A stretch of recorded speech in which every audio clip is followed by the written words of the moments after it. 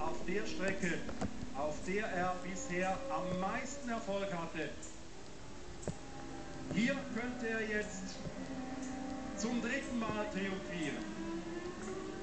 Und zum ersten Mal in dieser Saison und mit diesem Sieg, der noch eine Kurve entfernt ist. Hier die ganze Boxencrew. Jawohl, es ist geschafft. Tom Lüttich